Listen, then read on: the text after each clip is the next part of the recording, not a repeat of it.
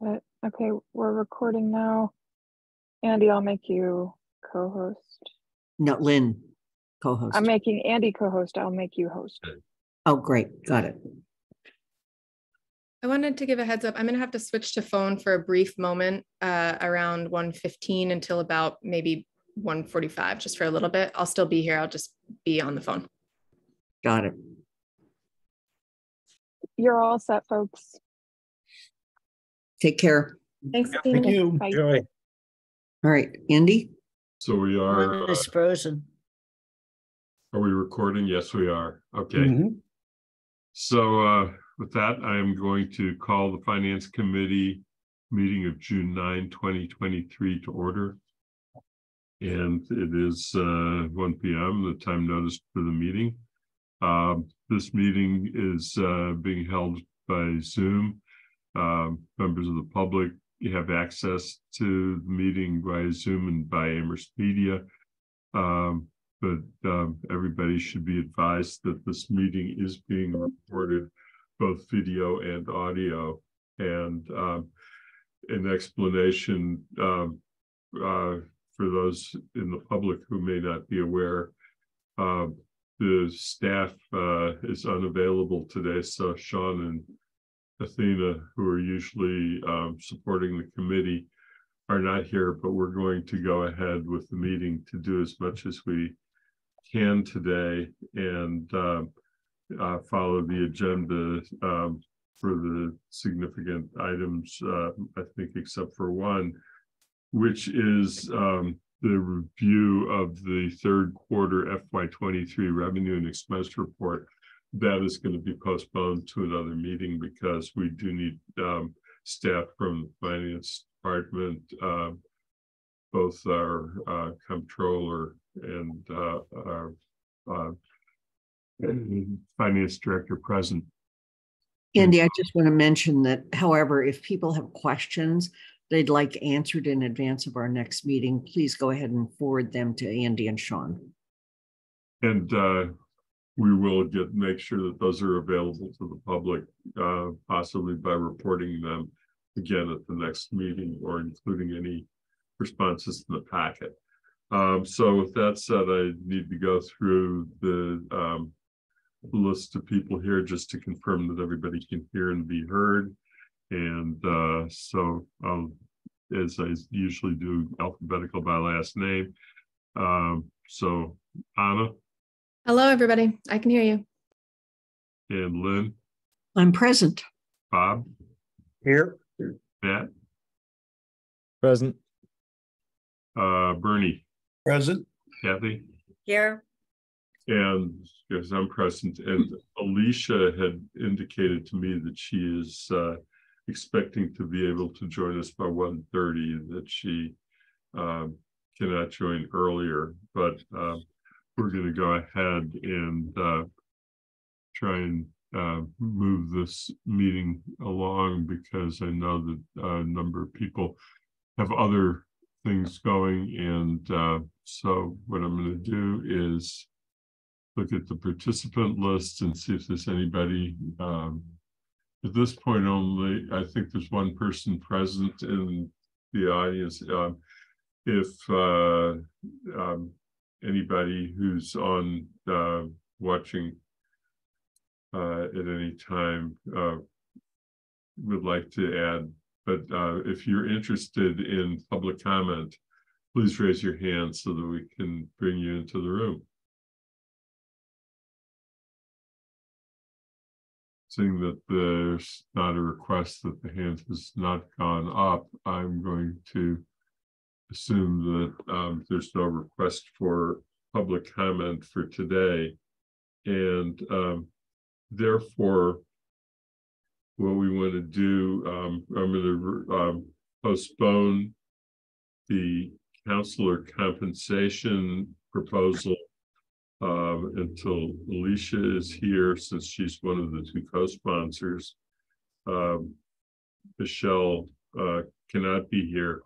Uh, Michelle sent some comments which have been added to the packet for the meeting, so, um, because they um, a matter of public interest, and so those comments to a committee, Um, and therefore, um, they are in the packet. Anybody who wants to see her comments can find, uh, that were offered to the committee just this morning, uh, can find them. Um, so, uh, anyway, councilor compensation, we're gonna come back to. And, um, therefore, I want to turn to the review and recommendation of Council Order twenty-four oh seven B, which is a request of the uh, Community Preservation Act Committee. And um, the uh, memorandum explaining the order and the order are in the packet also available for everybody. And we're also in the packet for the council meeting on Monday. Um, just uh, briefly, just as a reminder, what this is about, um, that the uh, Community Preservation Act Committee had been holding funds aside to address a request that they were uh, very interested in, but there was insufficient information for them to make a recommendation. At the time they made their recommendations, and there's still insufficient um, information available. And um, if uh, the money that is being held aside is not transferred to a specific reserve account before the end of the year, it will not become available until the um, next round of the process. Um, so that uh, their request is to um, do as requested in the order, and that is to make a transfer of the funds um, into a special reserve for FY twenty-four, which is of course the year that's coming up. Um, otherwise, uh, so that they wouldn't have to be held for expenditure until FY twenty-five. Um, funds are, i- if they don't make a recommendation, then they would ultimately fold back into um, the funds that are available for FY twenty-five distribution, but the order gives them the extra flexibility, and that is the request of the CPA committee. Um, are there any questions about this request or any thoughts about it? Andy, I can't raise my hand because I'm showing my screen. Okay, go ahead. Um, I just want to mention the reason I think we should support this is because periodically, um, we have had off-cycle requests for CPA money. And if there's, and this would allow that money to be available for that. Two examples of the off-cycle requests, one was for Kendrick Park for a matching grant, and the other one was when we uh, quickly bought the land on Belchertown Road for affordable housing. Anna has her hand up. Yeah, Anna? Lynn, I have a question about those two. Um, this is, I mean, this is a reserve for a specific project. It's not just a, a empty reserve for off-cycle requests. Um, the other two, the Belchertown Road and Kendrick Park, were those done in a similar fashion um, with the request to finance for re- a reserve intended for a specific project for the specific amount? I don't remember, I was on CPA at that time, and so I don't remember um, or or for the Belchertown Road, not for Kendrick. Oh, no. So what happened was they actually came forward when the new CPA money was available, That's Uh, but they did come to finance for review. Absolutely, but it's a little bit of a different type of reserve. right. Because I think that the other thing about those two examples that you gave is that um, both of them were significant expenditures that involved um, indebtedness. Right, And uh, since we were taking out loans, it was not actually expenditures in the year that uh, we were making the decision, but it was expenditures in future years. Um, I don't think that Oh, the I don't think that the order specifically um mentions the one um item that they um had been discussing from the last round. So if it moved into an FY uh twenty-four budgeted reserve uh, for Community Preservation Act purposes, think that it could be used for any uh, FY twenty-four expenditure if they was to recommend.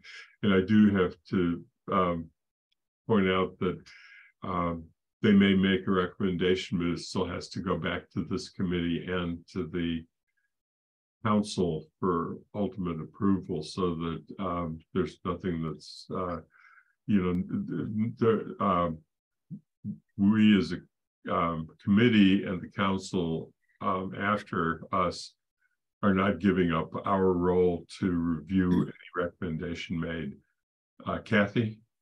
Yeah, I was going to underscore what you just said, Andy. Anna, you had said it's for a specific purpose, but it's not, even though they discussed a potential purpose. And one of the other things about, um, I have been the liaison, although I'm not going to be in the future, is in the past, they had to, because they had potentially underspent in a particular category, they had to reserve it for historic or for something else. This time, they had they met all the 10% of this, 10% of that. So it could be a general reserve. And this, I know this has been done in the past. You know, they, you know, it's basically it, it I think it's a good policy because you don't want to have the CPA this year wasn't an example of that. In a year where there aren't terrific proposals, you don't want them spending the money just to spend it out. So being able to have a reserve for the following year. And there was one year a few years ago that that reserve became really important to then finance some larger projects. Um, so I think this is a good policy. This was not one of the years where they were under under proposed. They had more than enough to spend all their money. Um, and they had to cut, they had to trim multiple projects. So I just want to, and Anna, it's it's written to be general, and I think it's deliberate because they weren't even sure the one thing that they were interested in is going to be able to come back anywhere near this kind of a price tag. So Yeah, Yep. thank you. Thank you, Kathy. I, I, the memo and the order are obviously different, um, different framings of this request. So um, anything else on it? Otherwise, um, I'll, I'll hold my question till after Bob. okay, Bob? Yeah, I, I, I, I support this. Actually, Kathy answered my question. The, the issue is whether we can do this or not. And it seems like we can. So, um, I, I think it's a, a good idea to do it. So Anna, you have, did you have something? Yeah, I mean, I, I think I have more general, I, I support this. I think that it's, it's great. And I, CPA is one of my favorite things. And so I, I definitely am excited about providing more opportunity through it. Um, I think I just have like logistical questions about how this functions, but I think those are more appropriate for me to talk to Kathy as the liaison offline and get a better understanding about at some point. yeah, well, and I can okay, Kathy, I can call you at some point. No, but not- when I watched what the committee did way back when is the reserves get held. And so when they start their deliberation and they usually start a little bit um, in September to say, how much money do we have? Sonia would put up, and we have this reserve held over, you know, so that it's got a FY. It's each year is how much you've collected and they never know exactly what the state appropriation would be. They always can assume it. And so far, the state has not done what it did multiple years ago, which is cut. Um, so, so it's like about how much money do we have to work with um, when they start to open up for it. But yeah, it ca- gets carried on the books as a as what it says here as a reserve. Matt? I just will say as, uh, and in no surprise, but I think it would have been nice to have Sean here to explain this because when I look at the memo, I, it seems to me it's kind of a, uh, essentially an accounting function. Um, they weren't allowed to make the award or, or not, I'm sorry, they were, they were, they did not want to make the award. They had a conditional award that they didn't want to make this year. And had they not created this special reserve account to hold that, those funds, those funds would have been frozen for, for an entire year. I, I think as, as I read it, it was just kind of an accounting move that seemed sound, but I, you know, don't, who am I? I, I don't know. So I, I but I, I I think as I read it, it's pretty straightforward. If Kathy feels the same, I, you know, I'm very comfortable with it. Okay, anything else? Yeah, let me, so this is what I'm summarizing here, and that is while they want to hold these reserves into this coming year on with the possibility that the church might come back with an acceptable proposal. The reality is if they don't, this way the money is generally available as well. It is an accounting move. Yep, that's accurate. Matt? Matt, are you frozen? Oh, okay. Your hand is still is up. Still upside. Okay. Okay, So, um, Andy, do you want me to make a motion or do you want to do it? Um, well, I think that the motion would be, um, that the finance committee recommend to the council adoption of council order twenty-four oh seven B in order appropriating the FY twenty-four Community Preservation Act budget as required under MGL chapter forty-four B. Second, So there's been a motion that's made and seconded. Uh, any further discussion? Seeing no request for further discussion, um. I'll start with uh Lynn, aye. um, Bob, Support. Matt, Support. Bernie, Support. Kathy. Yes, I'm a yes. Uh, Alicia has not joined us yet, so she's at this point absent. Anna? Aye. So um, of council members, it is four to zero with one absent in the support of three resident members and um. I think that we can um. Go on to at least one other item that isn't gonna take very much time. Unless, and then I'm gonna see if there's anything that was not anticipated that you want to, any members want to raise. But um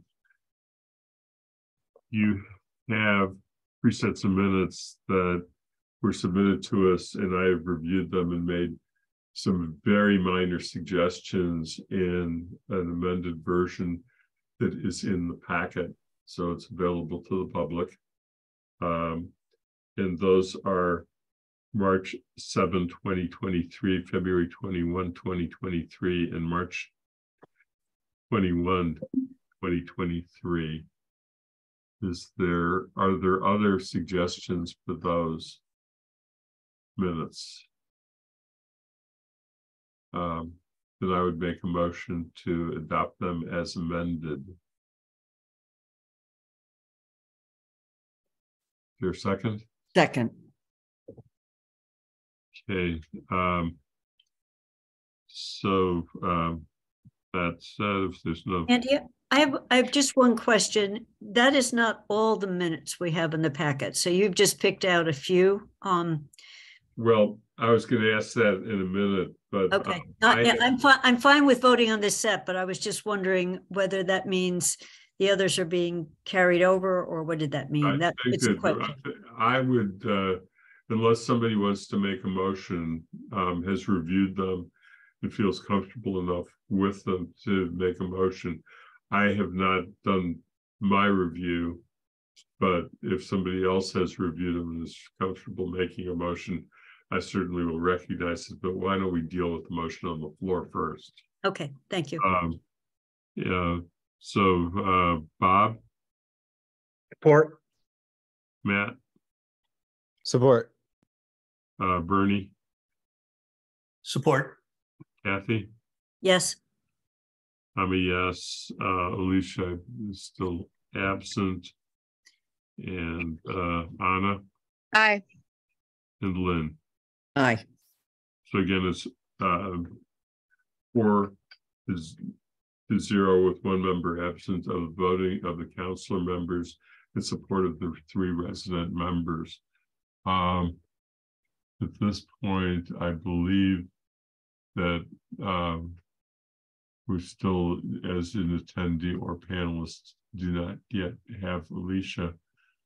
And, uh, it's not quite 1.30, so, um, the amount of time that she has said.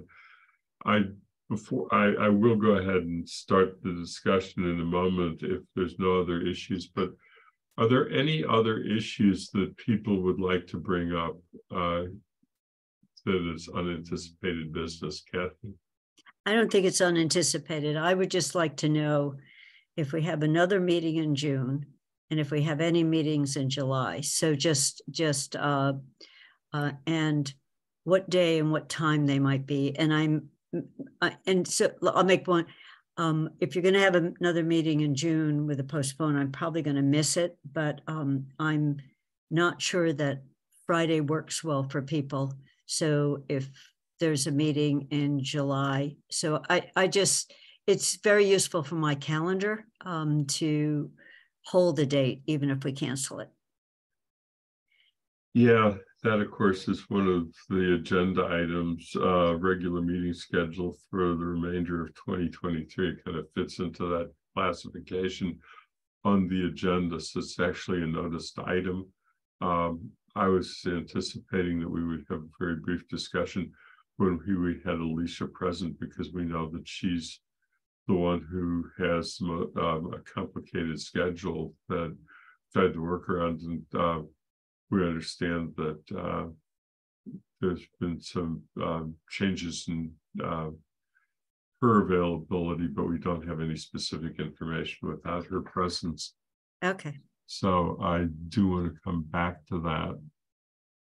And uh, I think the only other item that I would have that I'm going to call unanticipated because it really came out of a, a Gazette article that was, uh, I think, less than 48 hours ago uh, about uh, the Community Preservation Act. Um, and uh, it was just noting that um, there is an advocate, advocates are very concerned that, that not enough CPA money is being allocated. And um, we're in what I would call the Gold Star Community Group uh, of uh, municipalities that have met that um, threshold on a continuous basis, and uh, so that uh, it was not the issue um, when it was um, reported on on WEUR. They raised an additional issue and that is that um, it became uh, clear, at least in that reporting, um, that the uh, real estate industry is campaigning uh, against um, the requests of Amherst and other communities for a real estate transfer fee for this purpose and uh, wanting to make sure and are touting uh, CPA as the answer. And I just, it's not that we can do anything about it, but I thought it would be uh, something that um, committee members at least would want to know about for future discussions. Anna? Sure. So as one of the uh, co-sponsors of our, our home rule, I feel like I want to say, I have to say something here. Um, I mean, I think it's really important to remember that this is a strong lobbying group in Massachusetts that's doing this this work, right? And um, and not forget the source of the information. Uh, CPA is an incredible funding source for so many different things, and CPA alone cannot cover the needs of housing in our communities. So to say that we should be draining our CPA funds entirely on housing pulls from a lot of really wonderful, worthwhile projects. And communities like Amherst are utilizing CPA the way it's intended, giving a lot to affordable housing and still seeing that that is not enough, right? So for me, things like transfer fees are, are that support affordable housing like ours, like Joe's bill, all of these are really important because we, with all of the costs escalating and the, with the need level that we see, unless CPA was to become solely dedicated to housing, which I do not, I strongly believe that should not be the case, um, we need an additional fund. So I, I really, you know, it's frustrating to me to see that the advocacy uh, against these these transfer fees is saying just use CPA when we know that they could use all of the CPA funding and still need more. That's all. Bernie? Yeah, and another, another piece of this would be that there are a significant number of communities in the state that are setting aside their ten percent for housing and CPA and not spending it. Um, so it's, I think it's appropriate if we went back to our friends in the legislature and say tariff those communities who aren't using their CPA money to, uh, to, to create affordable housing. Um, you know, it just builds up and builds up and builds up. There should be some limit to it the other elephant in the room here, um, which our, our, friends, the realtors, won't probably want to talk about, is the uh, zoning issues. I mean, we're, uh, I, I, just read a report in Connecticut, you know, something like 90% of the land in Connecticut is zoned for single family housing. Um, I don't think Massachusetts is quite that bad, but I think as long as we continue to have large lot, single family housing zoning, um, we're going to have a tough time anywhere building more housing, um, uh, affordable housing. When you when you have to pay $150,000 for a lot, you can't build an affordable house. Simple as all that. So um, uh, yeah, I think uh, Anna, thank Anna for her comments, and uh, uh I, I do have some concerns about. And I worked in a couple of those communities where they got lots of money set aside for affordable housing and not spending it. Thanks. Yeah, uh, uh, thank you for your, everyone for their comments. I just wanted to um, sort of raise to just make everybody aware of the issue. I don't think that we're in a position to do more than we've already done, which was to recommend to the council uh, that the council submit the bill, which it did in a timely fashion. And, uh, you know, beyond that, it's now um, out of the committee's um, work load at the moment. I mean, it might come back when we get the next round of CPA requests um, and we get back into an affordable housing discussion then. But at this point, we're just trying to keep ourselves well informed and go on. Bob. I just wanted to note that um, I just saw that uh, in now it's in, in Amherst Hills, which is a very, very high-end development, but a lot is now three hundred thousand dollars. So we're not gonna get affordable housing on a three hundred thousand dollar lot. Yeah, I mean, I think that uh, we are aware that a lot of times Community Preservation Act money has been used to acquire land uh, because of this, and then uh, a partner comes in to do the actual uh, project and they go to uh, what was EOCD um, for in other sources for additional funding. It's now, of course, community development and housing are separate departments uh, with new administration. Kathy? Yeah, just um, as long as we're having this general conversation, um, one of the issues when you talk about the piece of land is how much how much housing you put on that land. So one of the ways the affordable housing developers have done this is they bought a piece and they've got a waiver for density on on it, and then they get a lot of state money to make it affordable. So this new one that's coming in in Ball Lane, they were going to do some market rate. It's a they're all duplexes. They were going to add some market rate duplexes. And when they priced out the cost of making the duplex, it was going to be too expensive. It was going to be too expensive for anyone to buy it.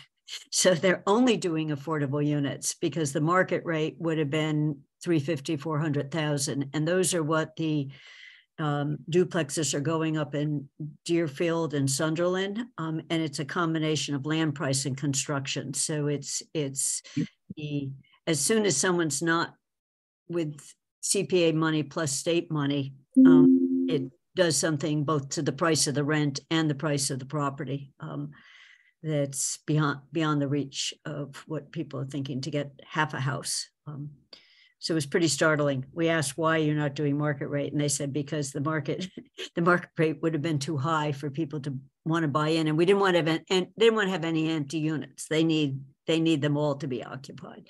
So it was an interesting um, struction uh, insight. Uh, well, yeah, no, thank you for reminding of this. And I know that because it's your district, you're paying close attention. Your district in your neighborhood, I think. Yeah, you know, it's, it is both. But, you know, one of the things I thought was curious about the advocacy report around housing is they didn't advocate more state money going into CPA for affordable or more state money going into renovate existing units for solar and for um, it, for heating efficiency. So if there were specific adds on to CPA that enabled people to do that with our existing units, the cost, the utility costs in those units would be lower. You know, so I think there are some policies that the report just said we need more housing, we need more money. So it would have been nice to also see where the money could come from to help municipal governments. Um, and that part didn't seem to be there. Yeah. I call on Anna, and then uh, since it's 1.30, I think we should move on to councilor compensation so that we can get to our last agenda item. Because I, um, but Anna. Thanks, Andy. Thanks, Andy. I think something that's also interesting is we look at the amount of funding and, and, not at the amount of affordable housing created, right? So uh, Pelham is lauded as a really, as you know, doing the highest in the area for CPA, which is amazing. I am not out here to knock Pelham. Pelham's great. We love Pelham. But if you look at the number of units created versus the number of units created in other towns or in Am like like Amherst, um, to Kathy's point, or no, sorry, to oh, I don't know whose point it was, sorry, but whoever was talking about getting a waiver, right, for density, um, I think it was Kathy, getting a waiver for density, Amherst has been putting up the, the sheer number of units Amherst has been putting up, I would argue outpaces most of those other towns. And so it's an interesting to con- it's interesting to consider the amount of funding, but also who's housing the most people, right, per per capita and, and for the amount of land we have.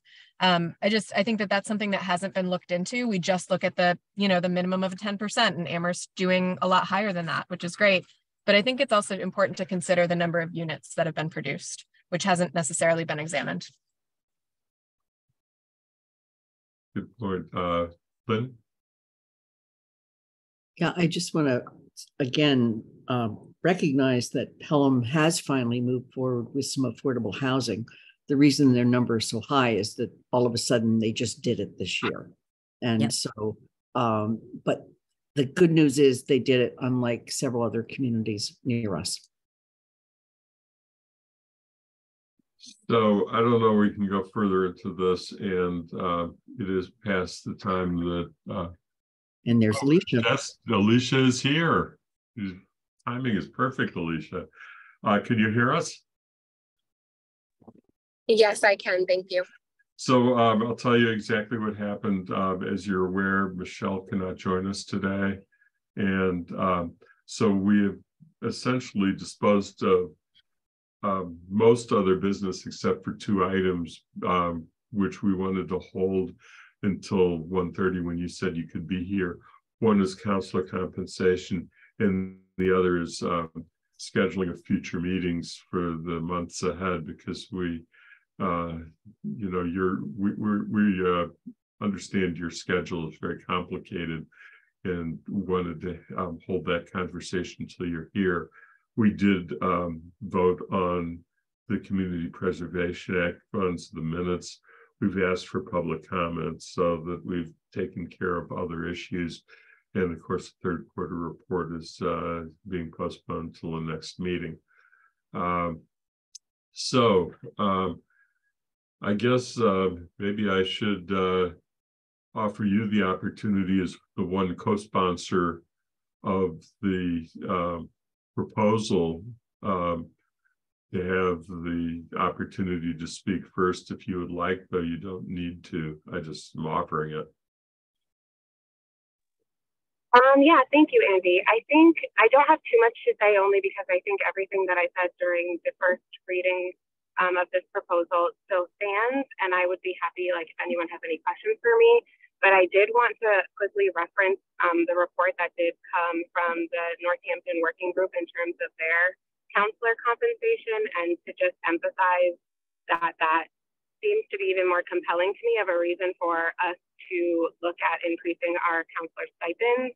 Um, specifically, that what mine and Michelle's proposal was to bump us up to match what Northampton's current pay is, and they're looking at doubling what their current pay is. Um, so I think this just gives us an even more compelling reason to look at bumping up to what Northampton is currently offering, even while they're looking at offering even more. Um, and so again, I would just be happy to listen if anyone has any questions, and I'm really interested to hear what other um, councilors think about this. Okay, um, I'm going to open it up for any comments from other members of the committee then.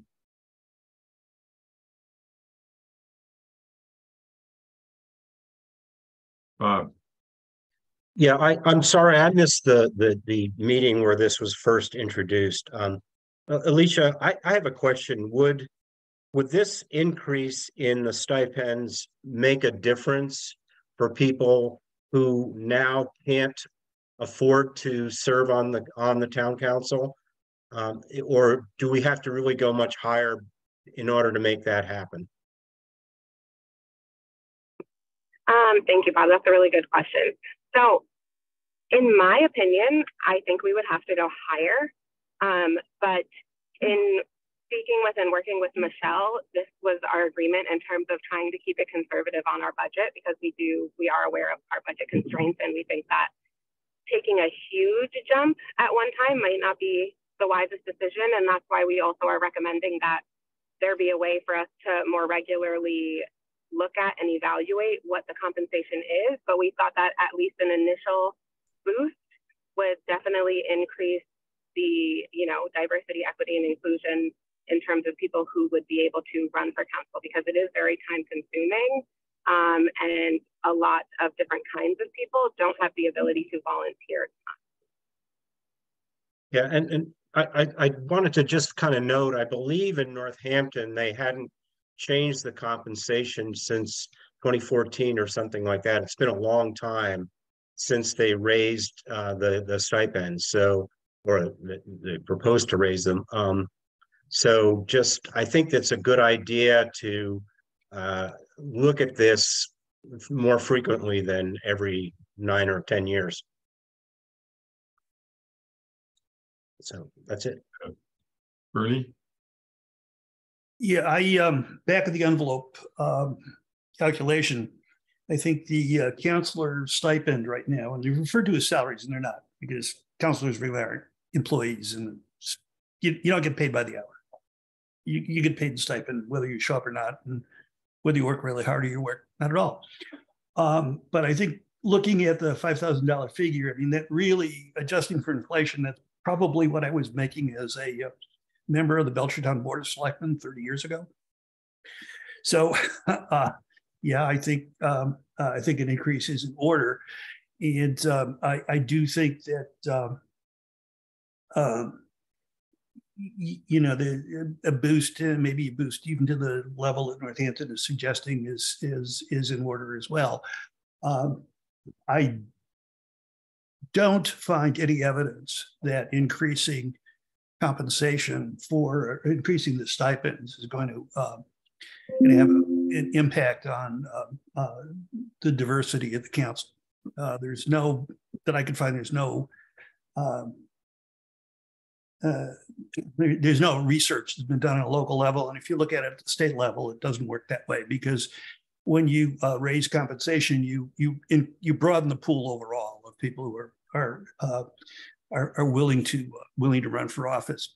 Um, but that doesn't mean I'm opposed to you know these increases. Like I said, adjusted for inflation, it's you're getting what I got 30 years ago. Um, I have a, uh, a problem with health insurance uh, for uh, elected officials. I think uh, uh, the table that Sean gave us uh, shows health insurance for the council, but we'd also have to, if I'm reading 32B correctly, we'd also have to uh, provide that to school committee members or any elected official who gets a stipend. Uh, so that's a real wild card in terms of our costs um, and and being able to being able to control it and predict it. Um, you know, whereas a, a stipend for councilors is is a predictable thing. We know year to year to year we're going to have 13 councilors. We're going to have to have this amount of money. Um, I'm also uh, ambivalent about the, uh, the, the family care um, piece of it. I think that the uh, uh, stipend should be sufficiently large that it covers um, a variety of expenses um, that someone who's holding a, an elected office might, uh, on, a, on a local basis, might uh, might might encounter. Um, I know that um, Paul said that uh, there'd be a trial program this year, uh, this coming year. It's in the budget. Um, but again, the uh, the information that John's provided us uh, doesn't include the school committee or the Jones Library trustees, which Paul said would be included in that pilot. So these numbers are uh, are, are, not accurate. Um, uh, again, or need to be adjusted. so again, in terms of in terms of increasing uh, increasing the uh, the, the uh, stipend, uh, please, I'm all for that. But for the other two pieces, I would probably not support them at this time. And I know we I know we gave I know we gave assistance to town meeting members for for for family care, but town meeting members weren't compensated to begin with. So it's a little bit of a difference. Uh, Linda, you've talked with Paul about uh, what he's included in the budget and how he intends to proceed. I assume or not. Yeah. Uh, so let me just. I, all I want to talk about at this moment is the family care, otherwise labeled child care, but it should be labeled family care. Uh, and that is that that has been put in the budget. That budget is the budget that we have, it's been put into the FY24 budget. That is the budget that this committee has recommended to the town council. It was on the town council's agenda on Monday night. That particular issue was clarified that uh, on Monday night that that money would be available as of July 1 for any councilor. And um, I didn't clarify whether it would be available for other elected officials. Uh, and it was put in, if you will, as kind of a pilot program, but it was based on, in fact, Bernie going back to town meeting, uh, where we already had that kind of fund for town meeting. So my understanding is that the town manager felt comfortable putting it in the FY budget, FY24 budget. So that budget is coming up on Monday night for approval by the town council. Um, and if it is approved with that in there, then that piece of this proposal, though not a robust amount, is in there as a way of at least starting to get some barometer on what the real need and would be for people. I, I also want to just go back and on that issue while I'm on it. Uh, and that is that I think we can look upon councilor salaries in any numbers way, ways uh, as to what we think they should pay for or not pay for, or what they compensate for or what they don't compensate for. But I actually believe that family and childcare is separate. Bernie? Uh, yeah, um, I, I, I supported the, the budget. So that the five thousand dollars that's in there as a pilot. I mean, I, I supported it. Um, I'm not convinced that it's a way to go. Um, it'll be interesting to see what happens. And again, um, town meeting members, and I was one, um, weren't compensated at all.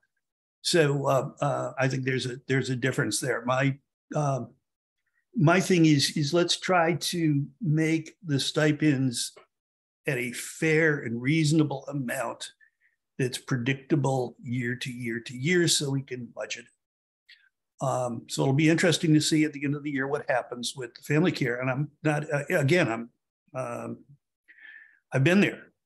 you know, I was fortunate enough to have uh, um, a uh, um, you know a situation where uh, I received a lot of a lot of support. I also can tell you that as an elected official, I probably spent more money than I received from the town of Belchertown.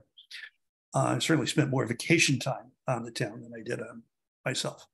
So, so I, I understand some of this, uh, some of this push and pull, and I'm, uh, my, my point is, is that there really needs to be an adequate stipend. Go upstairs. I don't know. Andy, do you want to call on Alicia? I did, I thought, Sorry, I couldn't quite hear you. Um, but yeah, I just wanted to respond to, to Bernie's comment because I, I really definitely hear where he's coming from. And so I wanted to share just that that came up in the conversation that Michelle and I had uh, when we were looking at this proposal because my initial thought was to just give away higher stipend and a stipend that would be able to cover all things, but that made it a little bit more complicated because when we're talking about childcare um, and stipends, we're then talking more about looking at hourly, like how many hours are councilors spending in meetings, and then how much hourly or will they be paying for childcare? And then we don't want them to be breaking even, and the stipend isn't entirely for childcare.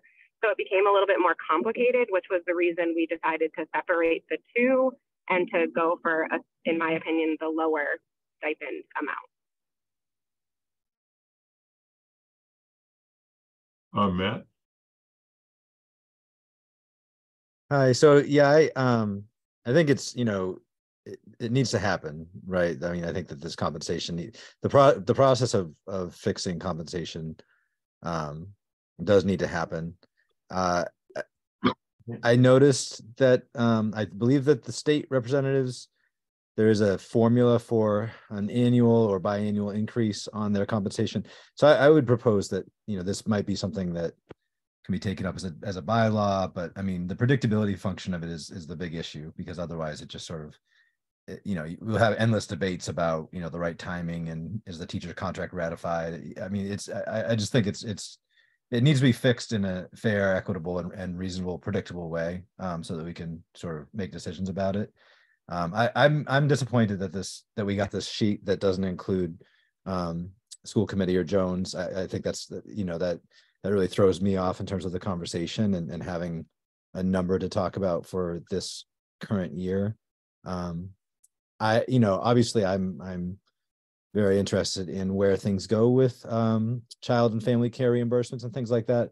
That being said, I, I lean towards, um, to me, that's an earmark. It's, it's, it's, I, I, I, don't support that. I think, I think that that should be a consideration lumped into the overall uh, amount of the compensation and not some kind of a of a um, pilot standalone program. So although I you know I appreciate Sean and Paul putting that into the budget for this year, I I don't think that's the way to go for compensation and and um, I hope that the council sort of goes just just focus just focuses on the stipend amount and and just recognize that every single person you know comes into a volunteer elected position with their own set of financial realities and you know rather than trying to parse out which ones are more important than than others.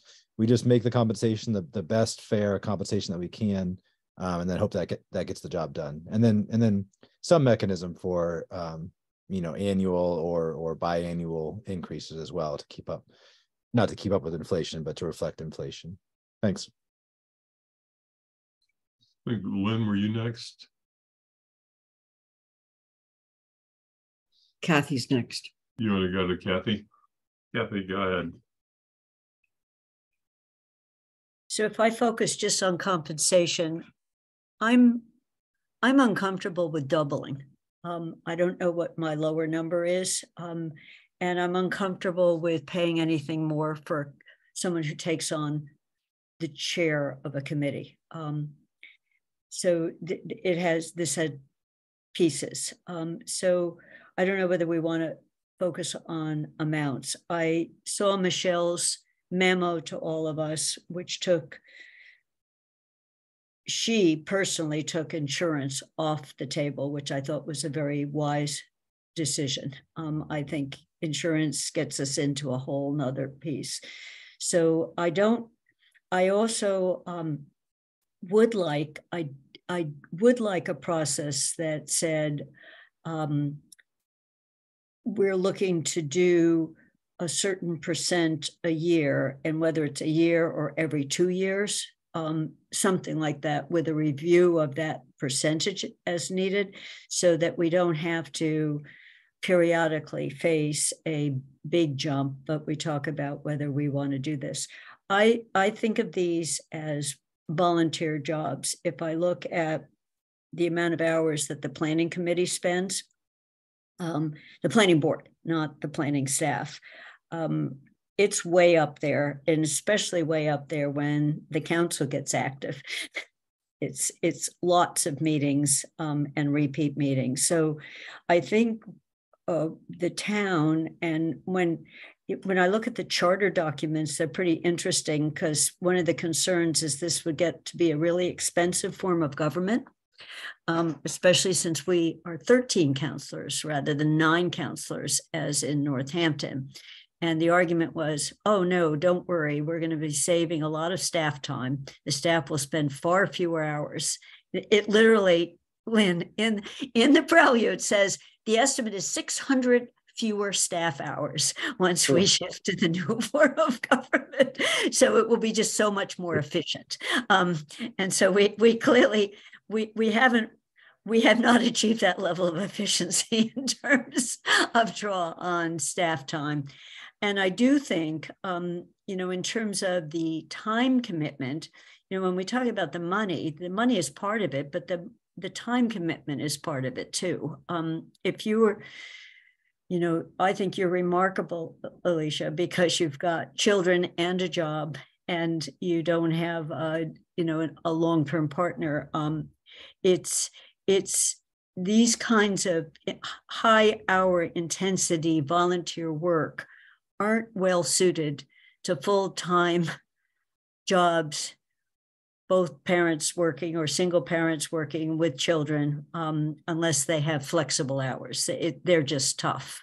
So I think what Lynn has started to do, which I really appreciate, is get the council meeting time under control.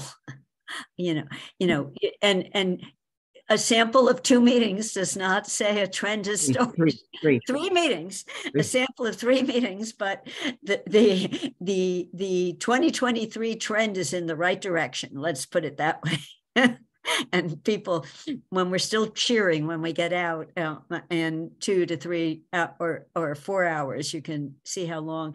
So I do think we need to worry about the amount of time that committees spend, and some of the committees it's they are generating the time. Um, I for the committee like the school building project, that's a project that generates the time. But sometimes the committees themselves are taking on a large amount of work. Um, so I worry. I don't. So I'll end my long thing with saying I don't believe we should pay chairs of council committees more than the council. The councilor stipend is the councilor stipend. And we've got a precedent of paying the president more than the rest of the councilors.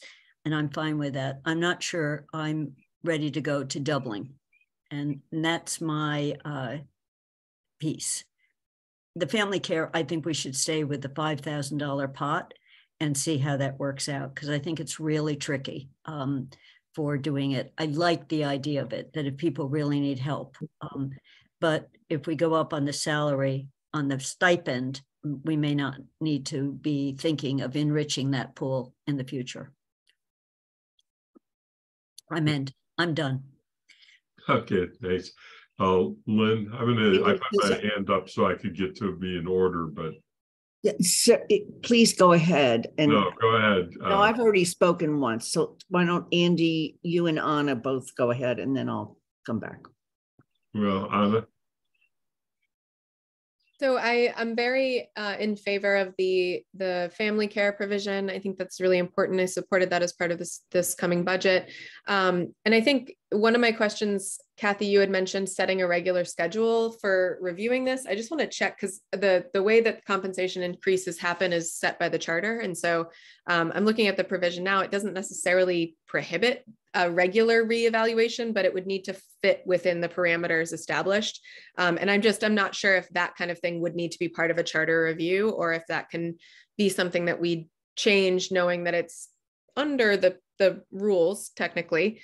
Um, it's not it's not expressly prohibited by the charter. I'd be curious to explore that um, as something that i don't know that it needs to happen you know every term. I think that would be too much but i do think that having it be part of uh, even part of a charter review or part of a you know a, every five years or every 10 year process would be um, would be important so i i support that um, and just generally wanted to voice support for the uh, family leave provision. And then the last thing was thinking through, you know, in terms of amounts, I think it's important to also recognize that folks who have um, hourly jobs or even sal- salaried jobs where they might request leaves, uh, $10,000 is an amount that, you know, someone might be able to go to their, their, to might be able to request a partial leave for, right? Whereas 5,000 is is much more negligible and it's harder to kind of justify that in terms of hours worked.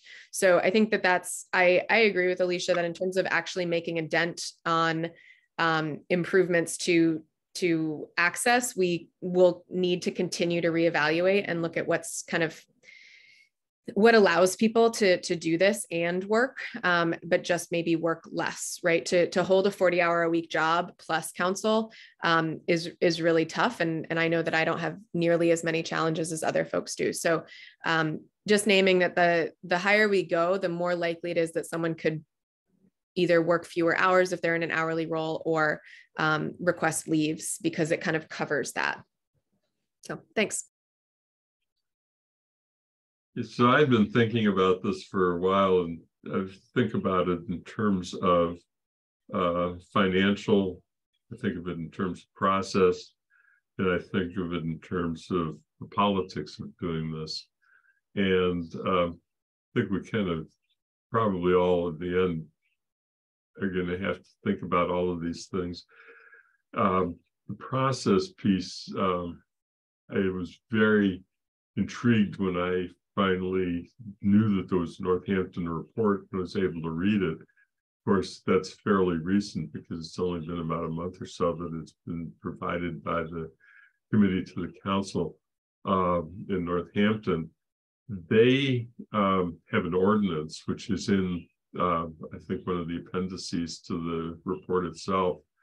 And the um, ordinance is equivalent to a bylaw here and what they've obviously done is taken their charter and used the ordinance to uh, flesh out a process that goes with it.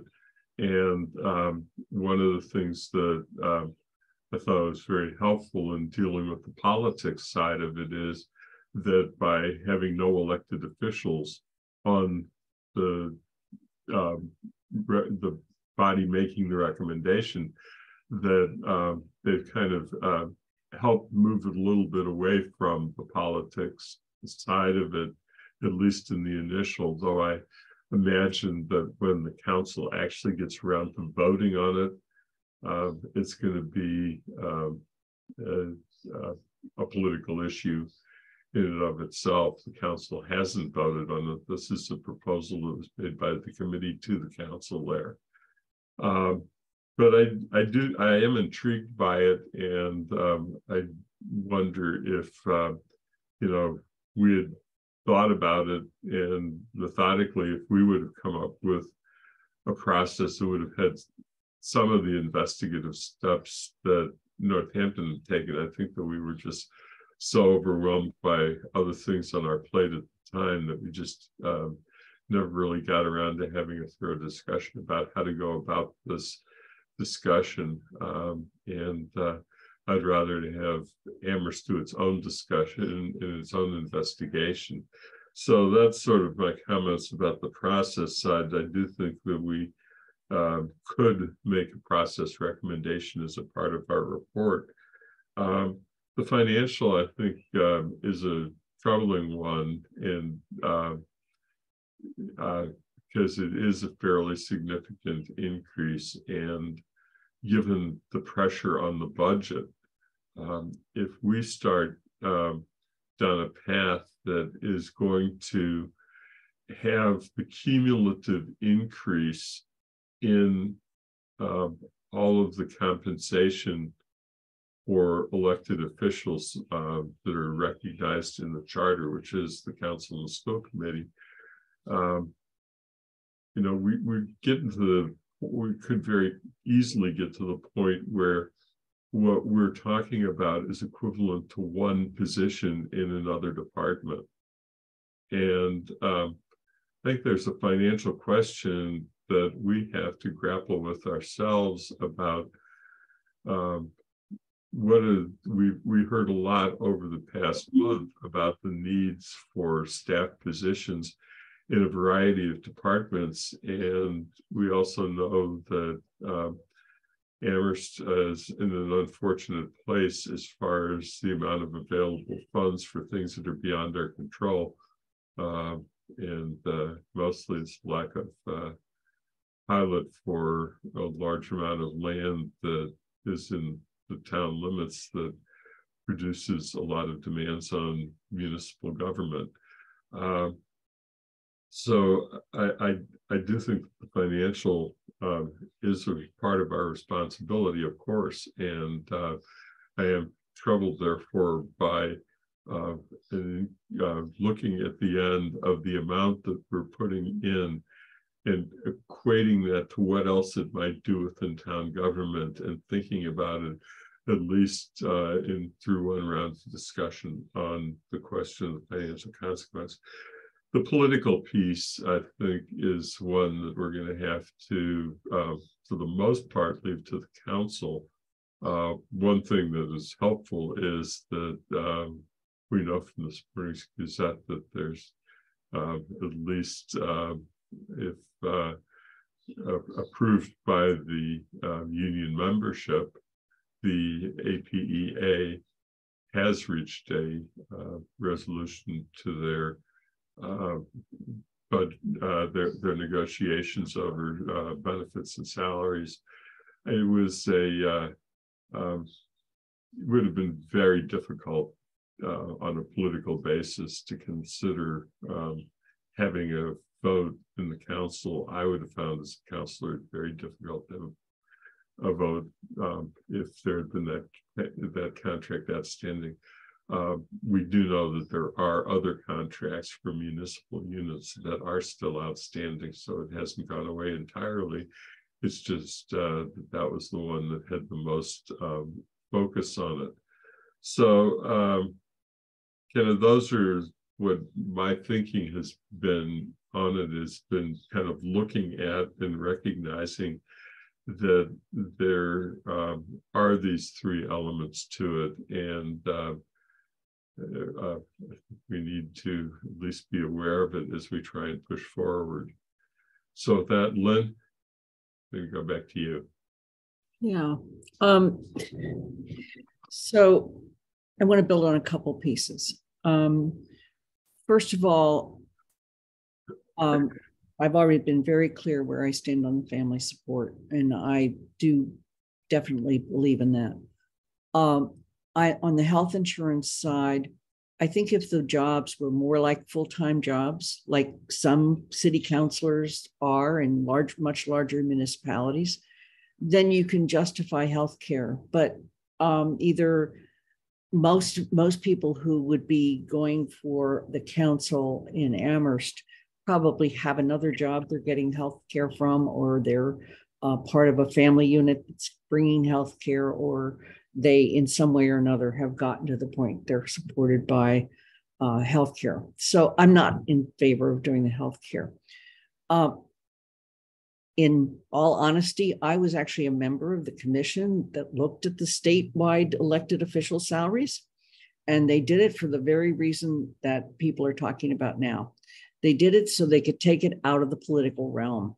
And the recommendation, in fact, was formulaic and was also based on cost of living. So it was um, a very useful uh, way to take it uh, again out of the political realm. And at the same time, uh, it didn't go into effect until the next term, as I recall. Hold on one second. I've been summoned by my family. I'll be right back. Okay. Um, okay. Sorry. Um, second of all, uh, I actually then decided, just for the sake of discussion, to play around with an Excel sheet and I looked at, you know, what would have happened if we had gotten a regular, say, 3%, which has been kind of where cost of living has been between 2 and 3%. Starting with 2019, we were seated in 2018. And if anybody's interested, I'm willing to share my little Excel sheet with it. But I did the same thing that um, Alicia and uh, Michelle have been recommending, and that is that I held, I, all I did was take that number and then add 2,500 for the person who's president. Um, and, you know, it, it doesn't bring us that far along, but at least recognizes something that's much more in line with the kind of things we're negotiating in our existing contracts. I, I firmly believe that when the Charter Commission is seated for 2024, uh, one of the things we should ask them to look at is the possibility of a change in the charter that addresses this issue.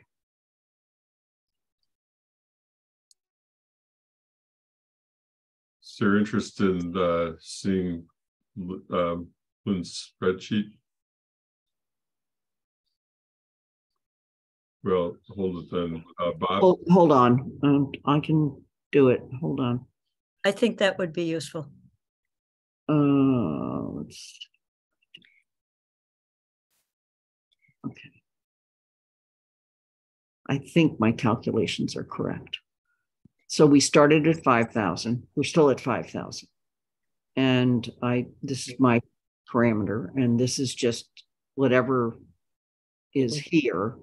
It's this number plus 2,500, 2,500 it still doesn't seem like much. And I have to say, I was pretty amazed and, and really want to thank Michelle and Alicia for the comparison work they did do uh, to particularly those uh, groups around um, the western part of Massachusetts. Um, I I feel very uncomfortable making this kind of recommendation as a seated elected official.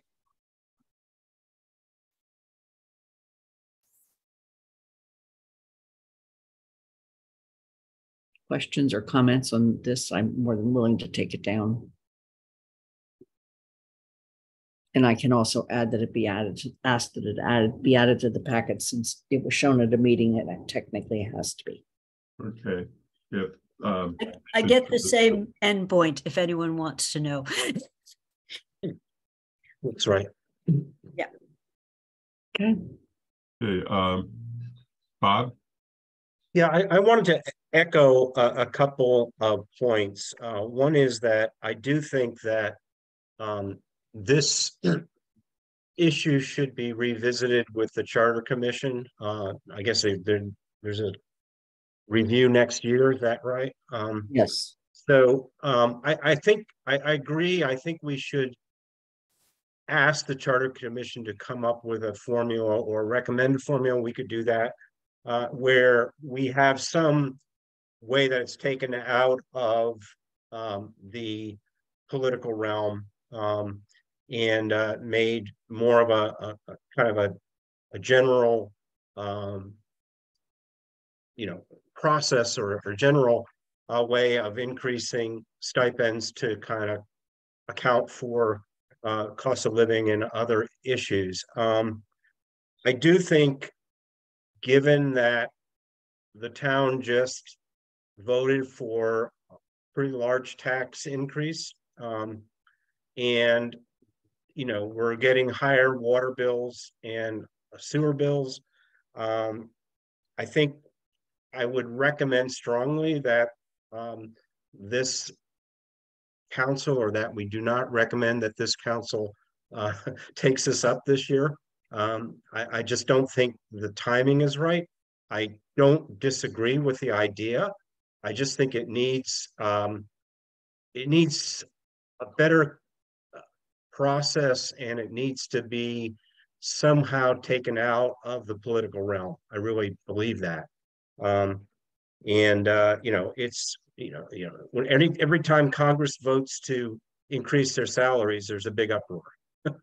Uh, so uh, whether it's deserved or not, I, I do think that there's a danger of of uh, you know the perception that you know the council is increasing their their salaries at a time when the towns you know the rest of the town has to uh, pony up more money uh, for basic services. So it's a thought. Just I, I do think if it's taken out of the political realm and it's a regular kind of thing, it, it makes it much more palatable and it's it's easier to to kind of defend.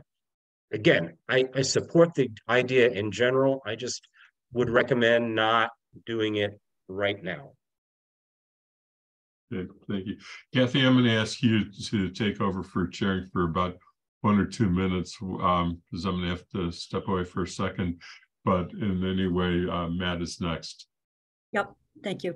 Matt, Thank you, Andy, and thank you, Kathy. Um, yeah, so as a resident member with no political stake, I, I would just say, from a finance committee perspective, um, I really think that this cost estimate needs to be redone by Sean, at least including um, school committee, if not if not Jones trustees. I, I think for us to really take a look at the numbers of this, um, we would, you know, we just we just can't. We don't have a good picture of the financial out um, outlay, and I, I haven't heard any explicit conversation about dropping one or the other. I, I can't imagine anybody in this room is, is suggesting that we would only make an increase to councilor salaries. So, you know, I, I just, I just think for the sake of practically looking at the finances of it, we as a finance committee need to see the, the full picture. Um, and, you know, and that, that doesn't necessarily mean uh, one set, you know, 5,000 versus 10,000 versus, you know, 3%. But, but I just think we, we need a, we need a, um, projection that reflects you know the reality of what we're potentially trying to do um and and that being said you know i uh well i actually i think that's enough thanks okay, so now I'm in the awkward position of wanting to say something, but also chair. So I'm going to hold my comment and first call on Alicia and then Anna. And now Bernie's hand is up. I'll go, I'll, I'll be the caboose. I'm also happy to wait for others to speak. Okay, Anna? So I think I I hear I hear what folks are saying in terms of concern about doing this right now. And I think it's important to remember that the reason why we do it now is to serve the next coming council.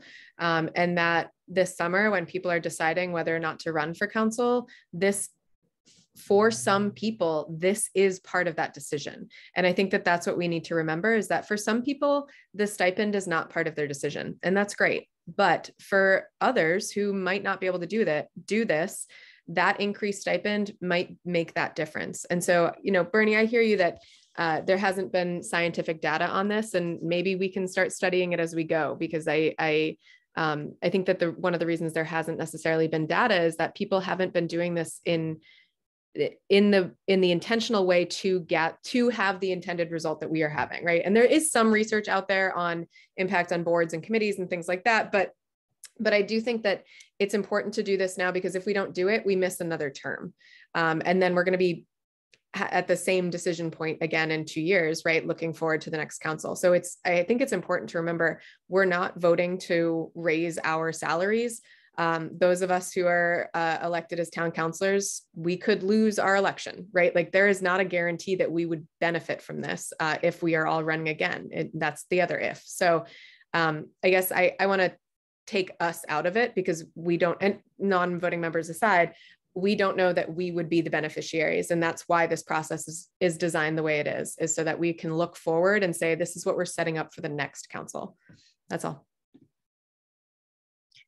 So Alicia, would you like to speak now or should I call on Bernie first? Um, Bernie can go. Thank you. Bernie? Uh, you're, you're, you muted yourself. I have two screens here, my laptop and my big screen that has all the documents on it, and there's two mice, and I occasionally grab the wrong one. Um, I gotta remember the blue one is what works this. Anyway, um, I'm not opposed to, first off, it's very difficult always for uh, an elected official, and again, having been there, to advocate raising their compensation. Um, I, I appreciate that. That's, it's hard. And I understand full well that this wouldn't take place now. It would be in the future after the elections. Um, I don't have a problem uh, with increasing the um, stipends. And again, I think it's a mistake to refer to them as salaries. Uh, increasing the stipends for for councilors to a reasonable sum of money, because you do incur, even though you're you- you're really not working on an hourly basis, because uh, you'd be worth far away far away more than that.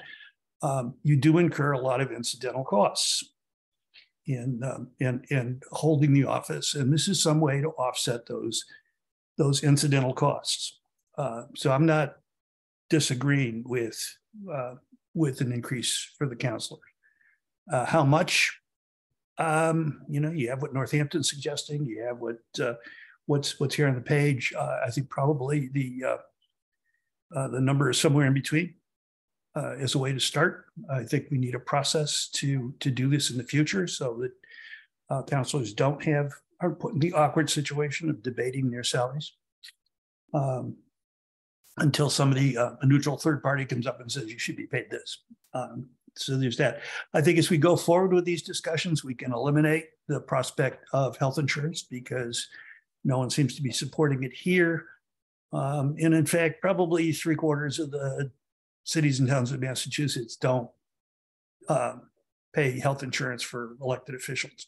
Um, the, uh, of of the uh, uh, towns they've been affiliated with, one way or another, fifty percent of them we didn't have uh, insurance for elected officials, and the other fifty percent I worked to get rid of it. Uh, so I have a bias in that regard. So that's uh, that's where we're at, and and, and you know the the nobody I think nobody I've known is going to run for public office and all the stuff that goes on with it because um, they can give up on a job unless it's a full-time position like say a city councilor in Springfield or Boston.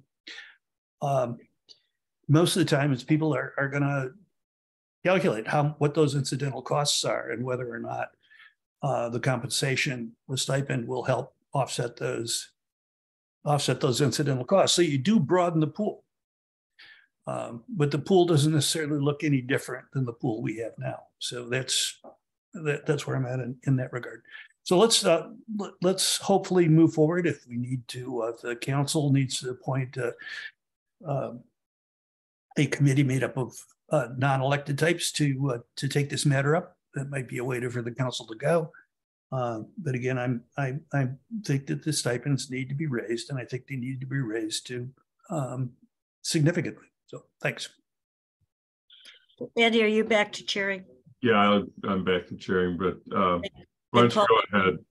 Yeah, Then call, call on me. Okay, so I, the, I have, I have a timing question on this because I very much like what the process that Northampton had working for it, which was a pre-existing ordinance that has seven members on who could not be elected now and couldn't be formally elected. So they tried to get, you know, and and they were only two-year appointments. So if and I am totally uncomfortable on um, I said it at the beginning, but I think um, doubling doubling our stipend, given the stress the town is under, and given the large increase we just did with uh, a voluntary increase in uh, to pay for the school of our property taxes, which was very generous of the citizens. And I must say that I have had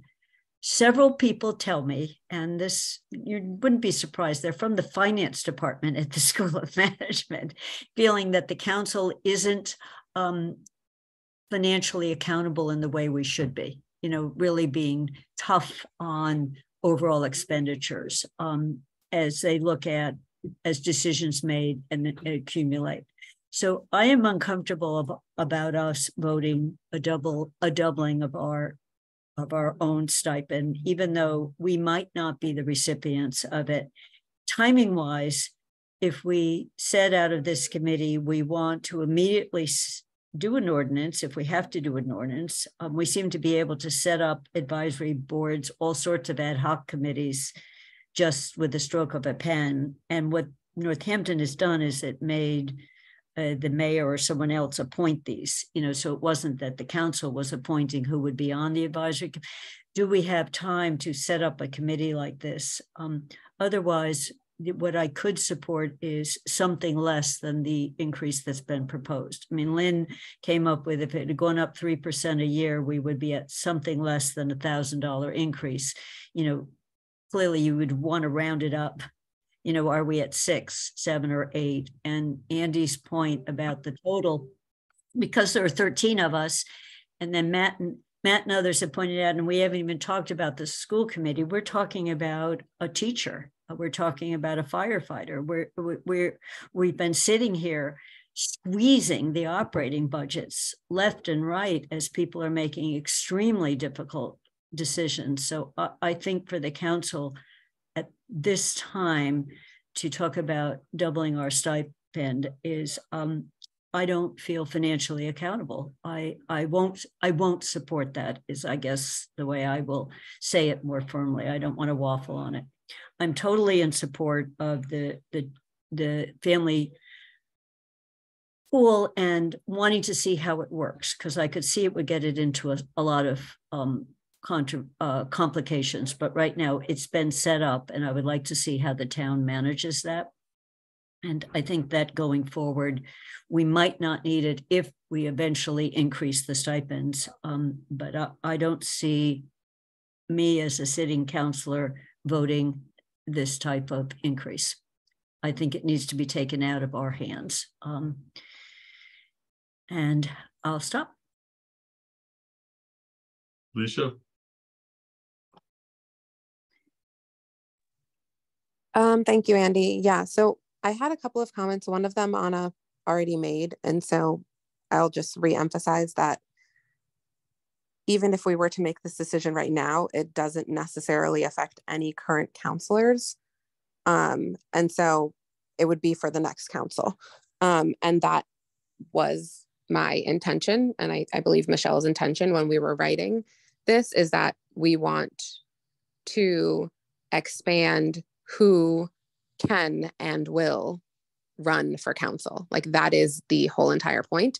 And so I think that this there there really is no better time than right before an election because people who are prospectively thinking about running this may influence their decision which is much of what anna said but that was what i was also going to say um, and also that when i talk about diversity on the council and diversity and inclusion in like all town committees um, i don't just mean racial diversity i also mean like financial diversity like people who are low income um, and so again, like these conversations sometimes are very difficult for me to have as one of the only low income peoples. But I'm telling you because I have experience.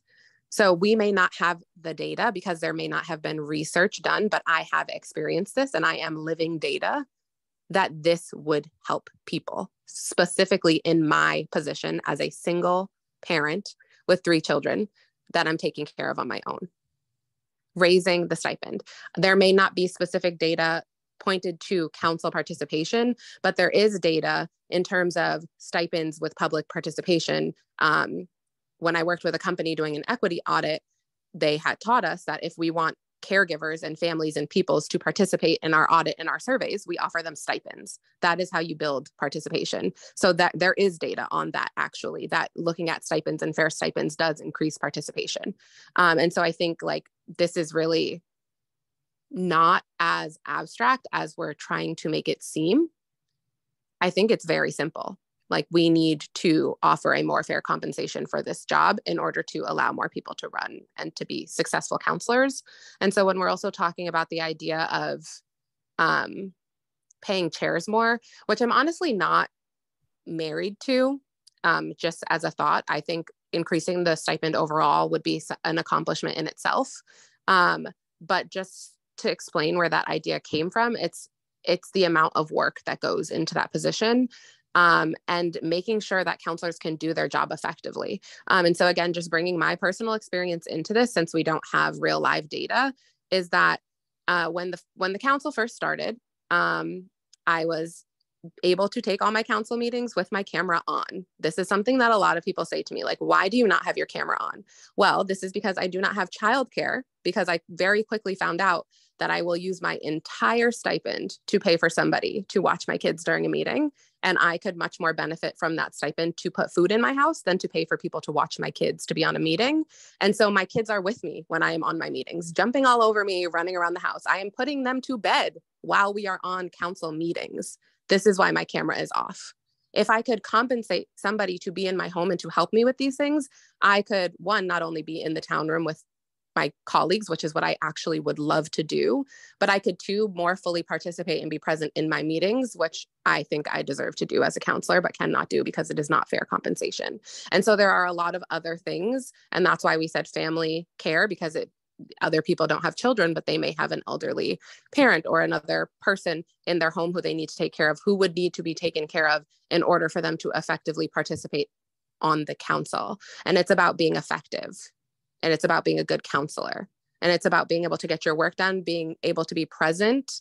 Um, because the other thing is, like, I know it is optional to be on other committees as a councilor, but I have found that the less I participate in other committees, the more confused I am at the council level. So like the more available I am to go to to go to fin- uh, finance committee meetings, the more available I am to check in on TSO meetings or CRC meetings, the more informed I am, the better job I can do, the more knowledgeable I am about the decisions I'm making at the council level. And so honestly, it benefits the town overall, I think. So I just wanted to offer those things.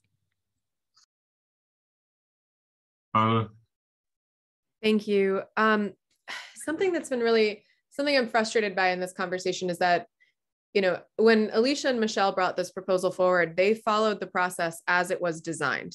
And we are finding flaws in our process and faults in our process, but we cannot fault the sponsors of this for following the process as it was written. And so, my concern with voting this down in order to create a study is one, gosh we do that a lot. And it's it really feels to me like we're shirking our responsibility. That is not to say i don't think that a study would be important or that uh, having a, a commission made of non council folks would be the best approach to actually fixing our process. I think that that's true. But i think to ignore just to say well we don't like the process the way it was written so we're going to create a, a, a, commission to do this better um, negates the fact that it's still our process and and the sponsors followed our process as written and we cannot fault them for doing that and i think that it does them a disservice by by ignoring this because we just don't like the way that it the rules are right? Um, we can change the rules and i think that we should support this measure. I think both are true. Um, i also want to just note a couple things. Bernie i i disagree. I think that there are folks and something I, i'm challenged by often is that there there have been a lot of times on council where I've had to use myself as a personal example, and otherwise people don't believe me um, when I say things are things are the case. And and I recognize that I am not always the true story for everyone, right? But there is also truth in my story and truth in my experience, and and um, I want to make sure that that is heard. And so I hope that folks do believe that when people say, you know, I would be able to take time off of work to commit to council if I made $10,000 a year, that is true. That is something that I would be able to go to. I don't know that my boss would agree to it. It makes me very uncomfortable to say it in a public meeting because now they might know that I'm going to do that if this gets upped and I get reelected. But all of that said, that is a reality for for people um, who who might have that flexibility. Um, and it makes a difference, right? I uh, am able to do a compressed work week during the summer. So I work my entire 40 hours Monday through Thursday. It's a little brutal, but then Fridays, I hypothetically have off, which means Fridays I spend the full workday doing council.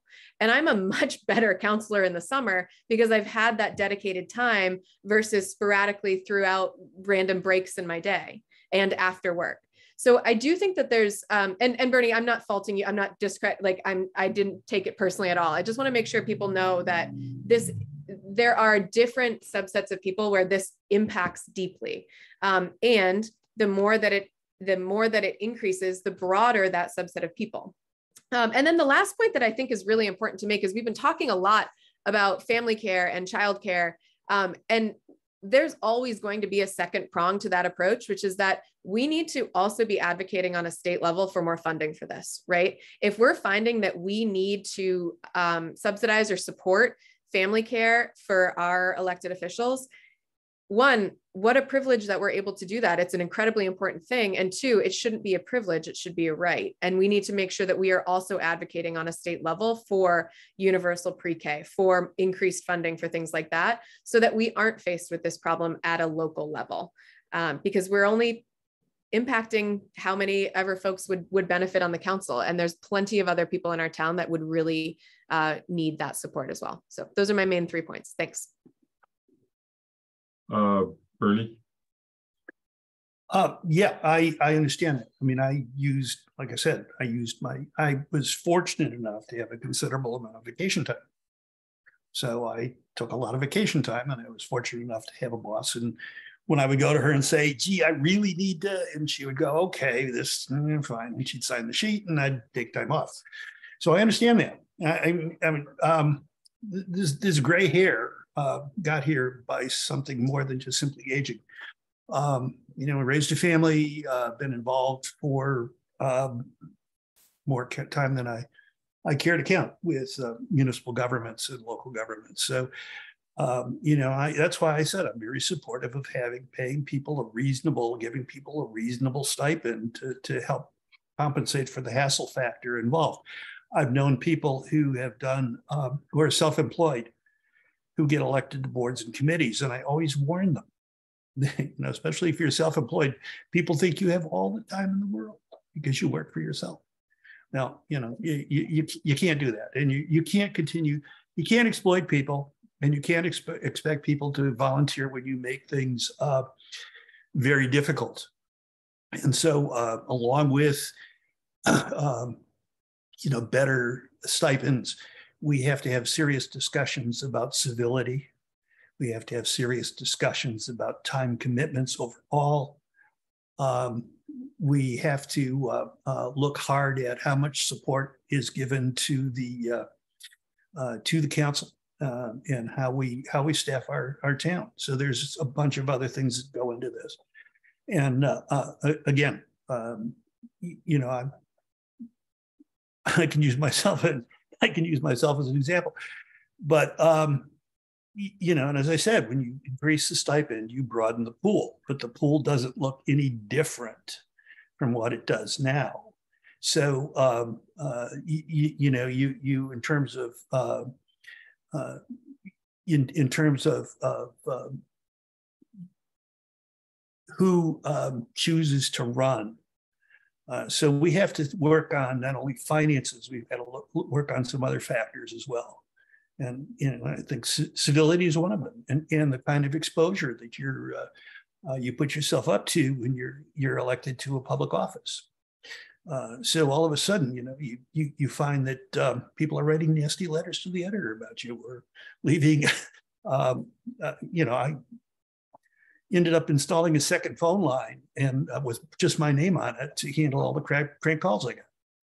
Uh, so there's there's a lot of other expenses involved um, in, in running for public office, and I think people need to be a, be um, aware of that and uh, as well. So thanks. So where I think that we're at in this discussion is that we actually seem to have a consensus on some things, but we and we have one big one where we don't have consensus.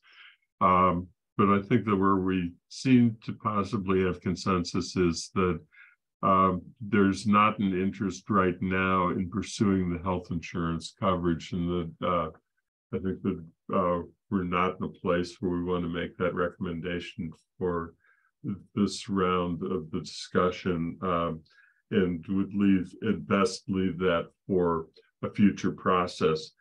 Though we've talked about um, in the future that we would like to see some kind of improvement on the current process uh, that would um, involve something like Northampton has with is a uh, committee composed of people who are not elected officials who are appointed to actually um, give the kind of consideration that they gave to this and make some specific recommendations to, but that um, that's something that needs to be left aside other than the observation that we can report that we think that it ought to be explored for the future and that we would look to the um, possible charter review committee um, as the um, appropriate place to do that or another um, mechanism if that becomes um, more more preferable. Um, I think that there is there seems to at least generally be a consensus right now of um, treating continuing to treat the family care as a separate item and uh, to uh, take advantage of the money that's been set aside in the budget that begins July 1st and um, see how quickly it goes and um, see what difference it makes and um, come back to that issue um, uh, after there's some experience that um, we've had with it which then gets to the last point is that I think that the general consensus seems to be that we um, do think that there's some adjustment that needs to be made in the compensation, but that that's where we're probably um, least coming together on a specific recommendation. Um, and uh, the uh, I think that the, there's a feeling that something needs to be done now, and there would be benefit to making this happen on a more regular basis as opposed to uh, happening uh, so that you have to deal with it as a large single jump at one time. Uh, but uh, I don't see that we've come together to, um, at this point yet, to make a recommendation. Uh, so I was, and, and I guess the last thing that I wanted to say is in in my review of this whole thing is that there's discussion that's been made about other elected officials, and of course the charter includes the school committee, does not include the library trustees. Um, the school committee is in a very um, strange place on this issue, at least the current school committee, and that is that if you look at our budget um, the school committee stipends are actually in the town manager's budget, I believe, and not in the uh, not not in the school budget, because the school committee of itself feels that um, they would not have made that the priority choice for uh, allocation of, of school budget funds. And uh, that uh, for that reason, um, from the time we started this charter implementation five years ago until now, uh, that's kind of been that it's uh, been uh, recognized as a part of the town budget, not the school budget, um, because uh, that's what the for the reasons that I just stated.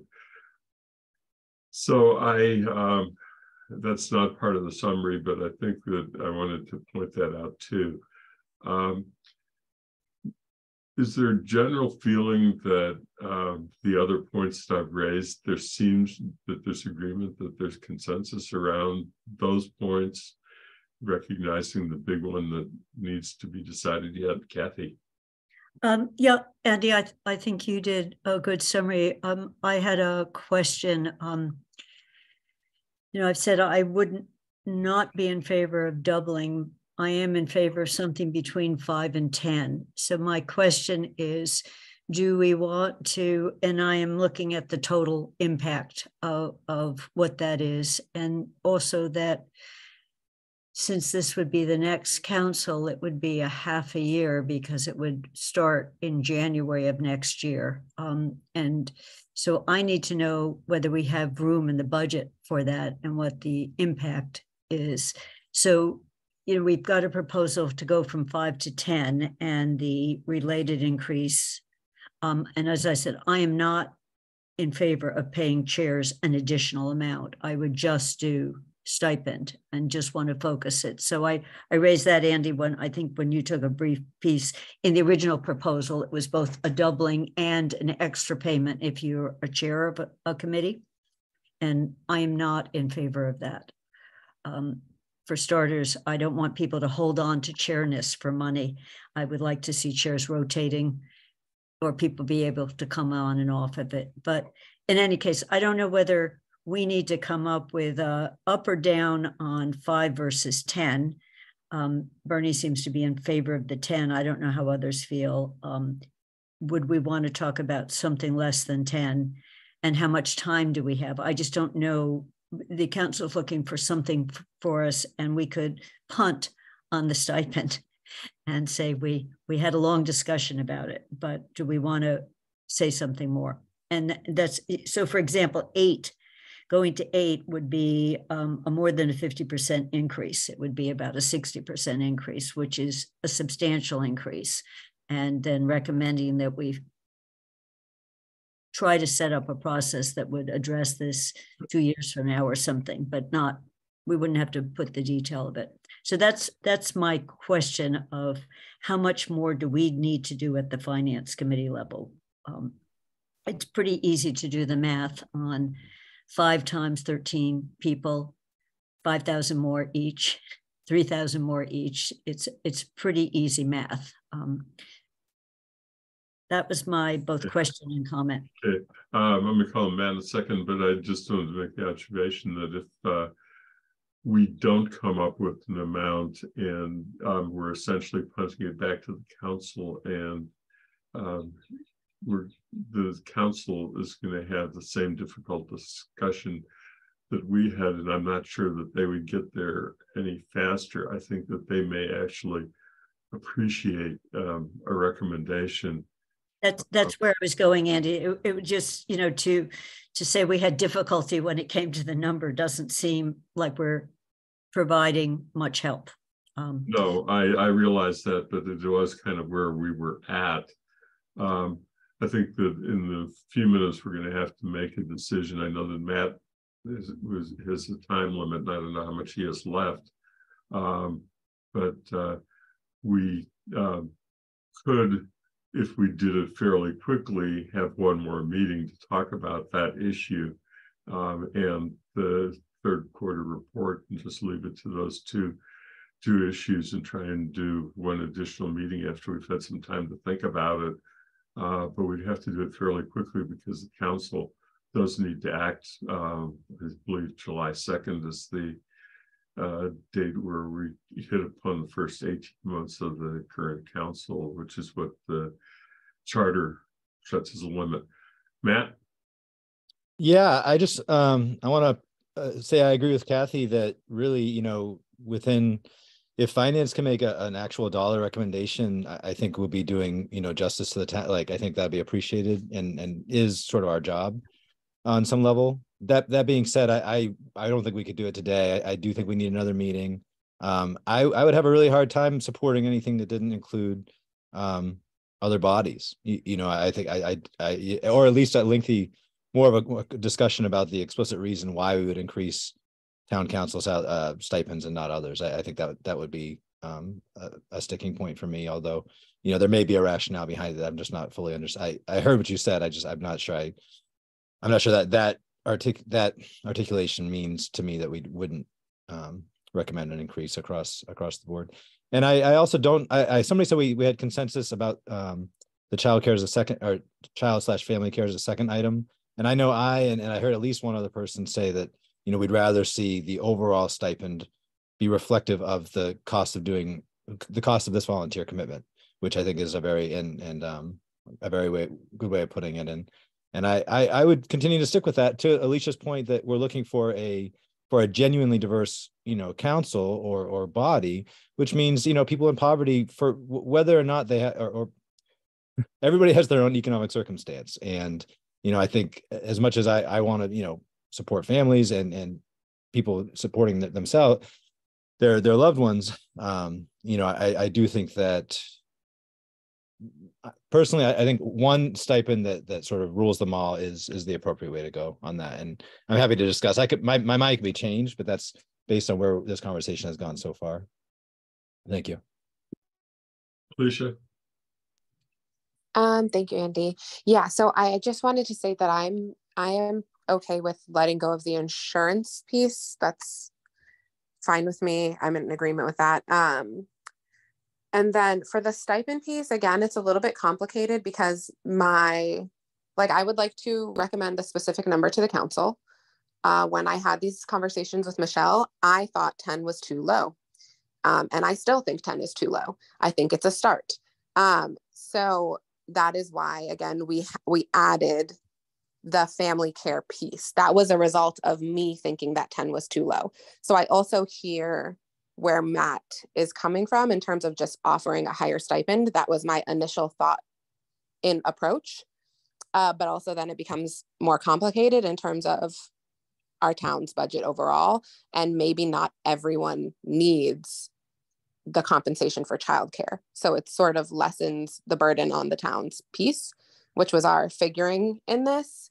Um, but I would also support a way higher increase because that is what I think. I think we're in line for an increase that is similar to what was recommended by the Northampton board. I don't know. I don't actually think our budget could sustain that, which is why this is what I thought was the alternative. Um, and I know we don't have specific numbers. And I thought, so I'm not sure if I'm wrong, but that the recommendation was to increase the stipend for also the school committee. I think that was included in the recommendation. Um, and so because we're looking at going from 5,000 to 10,000, that's pretty much a double.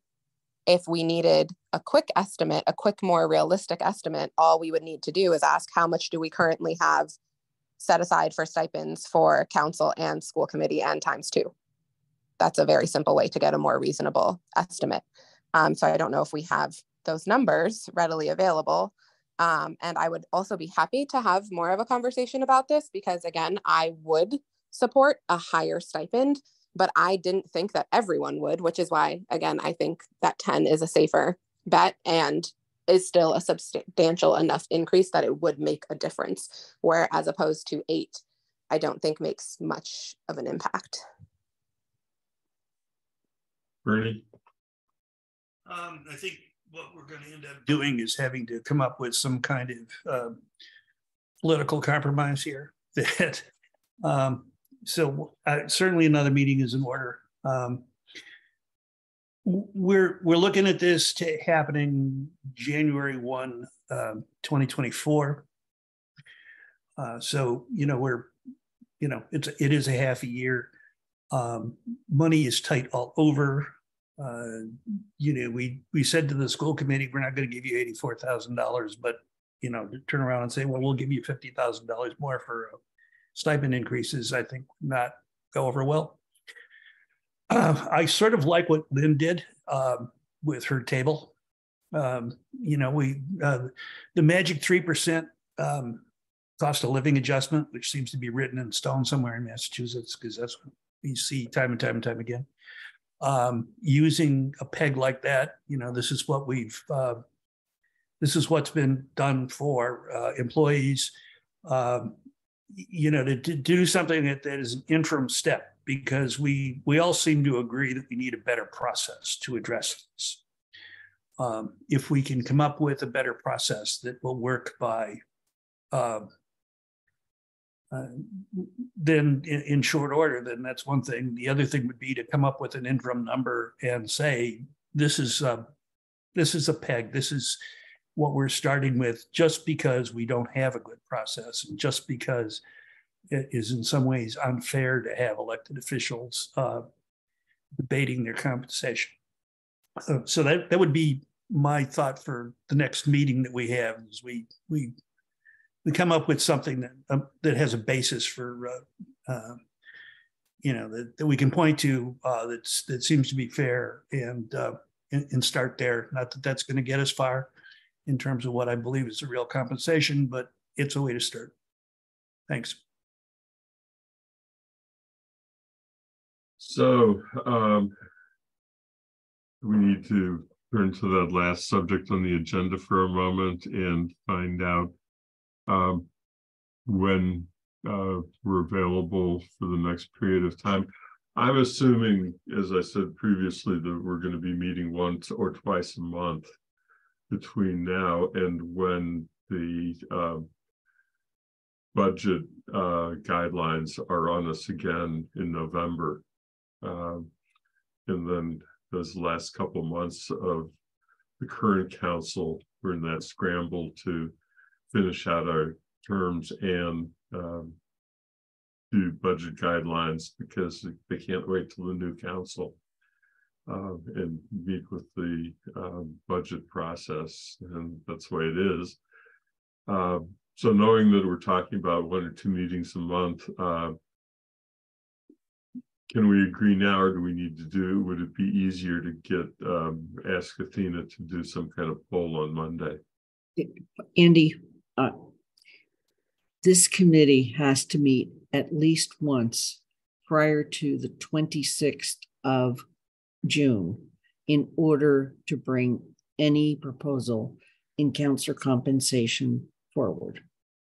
So as much right. as I'm very much interested in us coming up with a meeting, I think what I'm also hearing from people is we need to do this particular item as and our our last meeting prior to July 2nd is presently scheduled for June 26th. Um, is that going to be really too late to, is what, what council meeting comes after the 26th? Not until the July 17th. So we need to be deciding, we need to get something to the council prior to June 26th. Yes, yes. Absolutely. And I also want to point out that we had already polled for the 16th in the afternoon and we had, uh, did not have consensus on that time. I know. Um, Alicia, you've been the one who's um, had uh, the tightest scheduling challenges. Are you uh, able to share with us uh, where you are for the next um, period of time so that we know what works for you? Um, yeah, I could do, so our current schedule still works for me. I could essentially do any day of the week that we don't have a council meeting um, after five. Um, but Fridays, I also don't work. So while I also jam pack them with appointments, it's free. So like I can schedule around any time on a Friday. That also doesn't conflict with elementary school building committee. but yeah, so like Fridays at one are usually good for me. Um, I could do another time on Friday. I could still do a 5:30 on a Tuesday um, or a Wednesday, Thursday.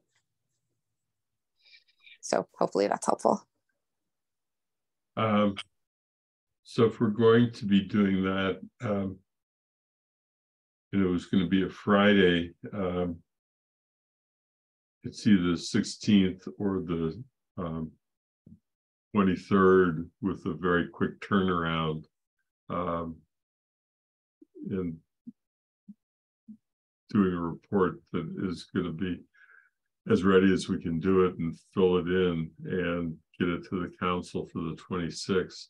But there wouldn't be a time to have a collaborative process on the development of the report. One of us would really need to do it.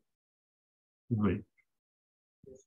If, if you need a quick reaction, I cannot do the 23rd. I could do the 16th. Um, and I have no idea about the end of the day. I'm just, I'm going to be on another continent. Um, so as we get to the late afternoon hours, um, that may be an advantage to everyone. I will be groggy because it'll be late at night. I'll be on this. I'll be on this continent, but I'm in the same boat as Kathy. I cannot do the 23rd, but I could do the 16th. Is there anyone who can't do the 16th? Uh, I can't, but that's okay. Um, I'm not a voting member. I can offer my comments in writing to the uh, group before you, uh, you meet. It'd probably be a badly worded rehash of what I sort of mumbled through earlier. Okay, um, Alicia has her hand up. I know that Alicia does. Um, sorry that I'm beginning to lose my voice a little bit. Um, we know from um, what Athena told Michelle this morning that if any of us um, wants to share thoughts with the committee um, in advance of a meeting, it has to be by a memorandum that is going into the packet because it becomes, it needs to be a public document. Um, um, and even with that, I would want to make sure that Athena is comfortable with that since she's the uh, one who's our guru on the topic of uh, making sure we're in compliance with all rules. So um, I'm not against memos as long as um, Athena is comfortable with the process. Um, Alicia. Um, I am available on the 16th, but it's also my child's graduation, so I might be slightly like I might join at 1:30 again. I have two kiddos graduating that week. Oh, congratulations. It, it would be good to it would be good to set a time that Alicia can make it to start. You know, so I wasn't wedded to one one thirty is okay or two. Yeah, I, I don't want to. I don't want to convene and then wait. So it'd be better to, to pick a time when you can actually be with us at the beginning, Alicia. So. So can we agree on one thirty?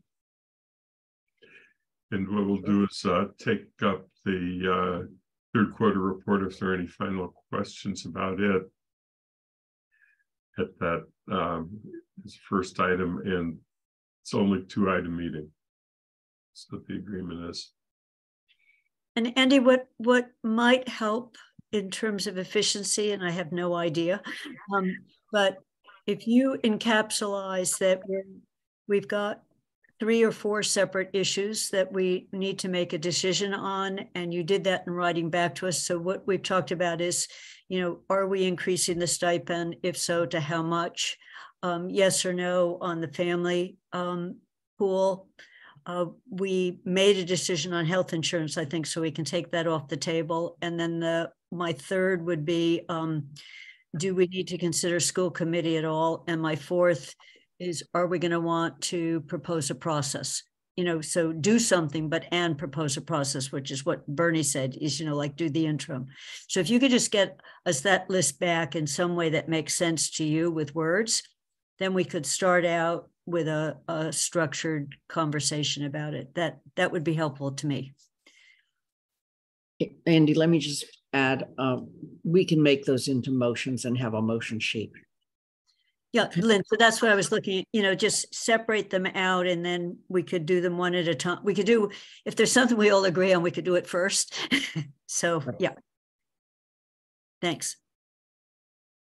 Okay, um, do the best I can, and I will consult with Athena about making sure that Right. I'm doing it in an appropriate fashion. She can help make, develop the motions too.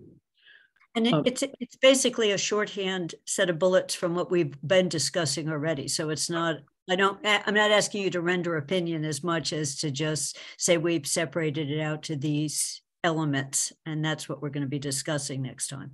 It's Yeah, kind I think that in the end, uh, the big discussion, I think we know is gonna be the amount of increase if that we would recommend, um, if we recommend an increase at all. And Correct. That that's really where the focus of the discussion needs to be. So that said, um, I don't think there's, uh, Lynn, your hand is up. Yes, let me just mention, this is a posted item on the agenda for Monday's council meeting. I will be removing that so that the council will not be engaging in that discussion on Monday without the recommendation of the finance committee. And then I also wanted to mention that a person has been in the audience with their hand raised. I don't know if they realized we'd already had public comment. Uh.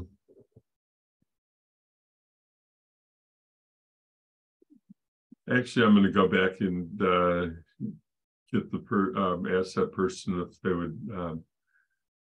But, uh, if they could just, um, offer their comment in a couple of minutes, it would be helpful, might be helpful. To know we, we are needing to adjourn, so, but I, um, want to value our commitment to public comment, so why don't you, um. Bring, uh, that individual into the room. And uh, let's do it real quickly. And I think that we have a date for the next meeting and a time, which is 1:30 and the sixteenth. Um, I have promoted them to panelists three times. And uh, it doesn't seem to be working. Let me try allowed to talk. Ah, there Uh, we go. Okay. okay, uh. Would you uh like to um. Identify yourself and where you live, and then if you can say who um. Off your comment in a couple of minutes, we would really appreciate it since we're, And they have to unmute, Andy. yep, but you do have to unmute.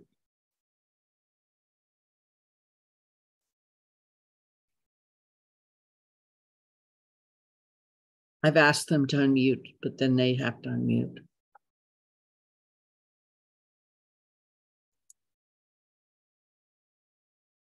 Mm-hmm.